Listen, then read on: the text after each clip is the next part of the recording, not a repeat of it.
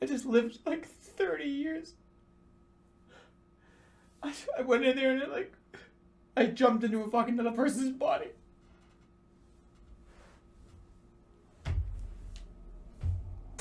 I just barely fucking came out. It was like 30 fucking years of a person